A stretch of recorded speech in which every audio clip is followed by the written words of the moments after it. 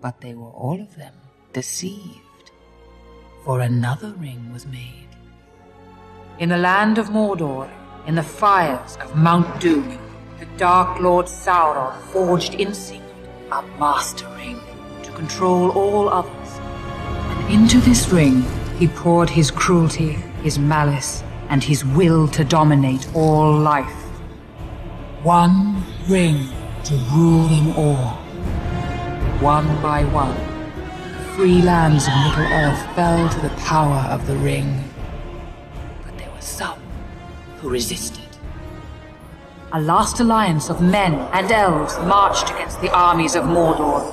And on the slopes of Mount Doom, they fought for the freedom of Middle-earth.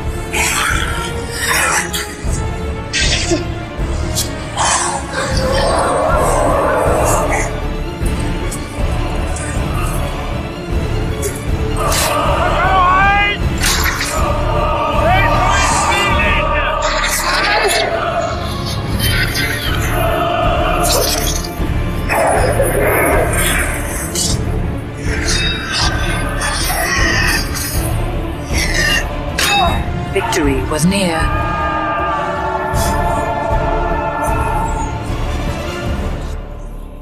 But the power of the ring could not be undone.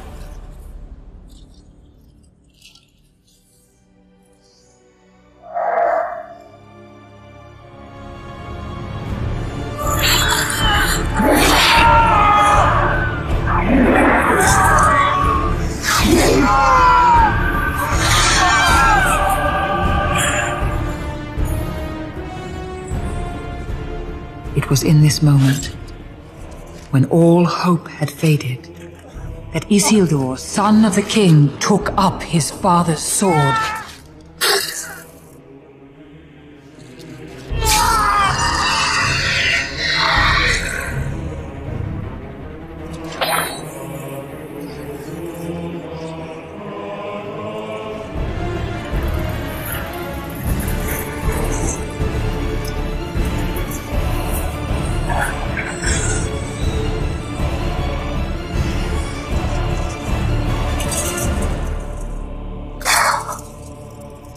Sauron, the enemy of the free peoples of Middle-earth, was defeated.